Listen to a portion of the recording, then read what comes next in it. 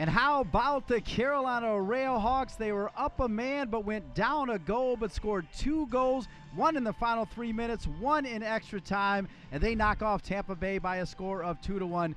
Dean Linke along with the beautiful man John Bouye, and it doesn't get any more exciting if the Atlanta score holds, Carolina now in first place in the NASL. That's right, first place, hoping to host that soccer bowl at the end of the season. And uh, they waited till the last possible minute to score that goal, Dean, but it was beautiful. Let's take a look at the highlights, and it will include the game winner from T. Shipalane and some great play from Cesar Elizondo. And here you see the, the Shriver free kick in the first half that just goes over the top of the the left post right there of Restrepo. A good opportunity there for Carolina.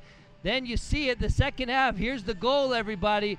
He shakes San Sanfilippo. He gets a shot. He gets a lucky deflection. It goes past Restrepo, and this place goes absolutely nuts.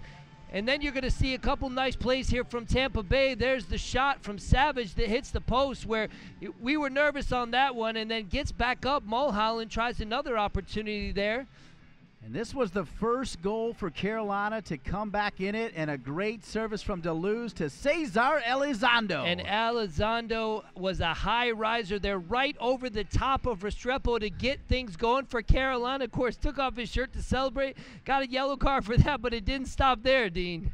No, in fact, he also got a red card, a little bit of scuffle at the end of the game, but all the fans leave Wake Med Soccer Park happy and excited as the Carolina Railhawks knock off Tampa Bay by a score of 2 to 1. Don't forget, Wednesday night, June 12th, it's the Carolina Railhawks and Major League Soccer's Chivas USA for a spot in the quarterfinals of the Lamar Hunt US Open Cup. For John Bouye, I'm Dean Linke. Once again, your final score Carolina 2 and Tampa Bay 1.